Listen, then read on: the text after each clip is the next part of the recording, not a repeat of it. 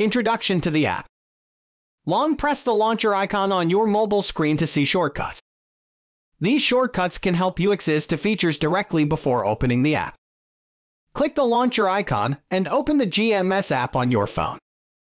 Please provide the required permissions to the app for usage. Enter the registered mobile number and click on Generate OTP. Do check for the country code while submitting, and if there are any obvious changes required, go ahead and change the country as applicable. You will receive an OTP on your registered mobile number and email ID.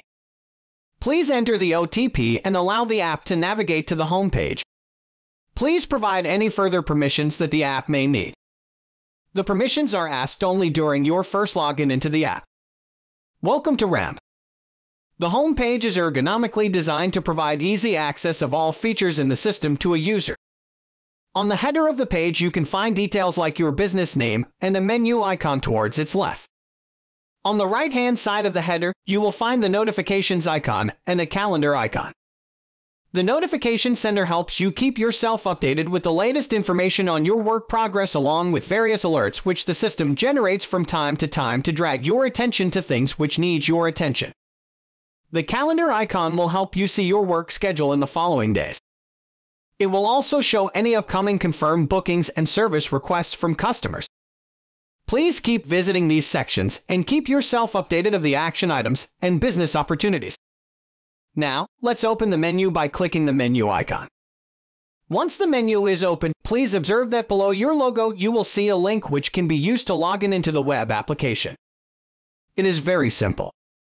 Just open your web browser and copy and paste this link and click enter. It will take you to the web login page. Please use your web login credentials shared on your email ID to log in.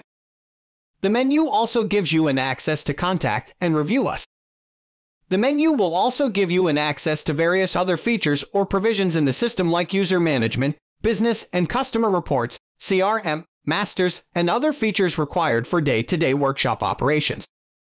The application version towards the bottom of the menu is an important reference that our support teams might request you to let them know to address any technical issues you might face while using the app. Please use the share option to refer us to someone you feel might benefit by using RAMP. Now let's close the menu and go back to the home page. On the home page, just below the header, you will see five icons.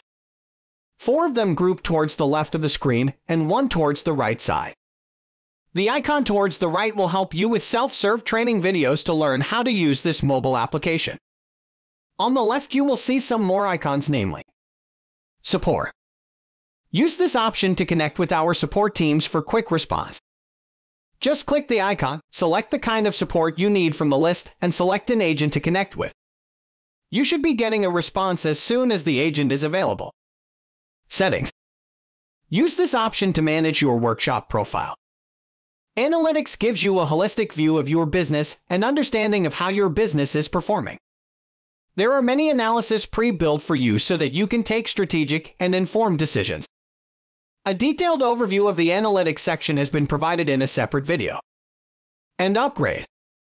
Use this option to upgrade or renew your package. Upgradation of your package can happen in between your subscription period too. So feel free to explore and subscribe to all features you feel are. The section showing your subscription details will show up information for your reference and action. It contains the name of your package and your bro code which are very important and are to be kept handy each time you may want to request support from our teams. Your bro code is your unique identification number and it helps us to identify you and your subscription details to be able to support you when required.